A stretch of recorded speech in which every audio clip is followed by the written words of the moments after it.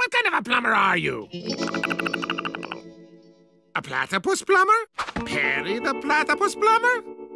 Perry! Perry the platypus?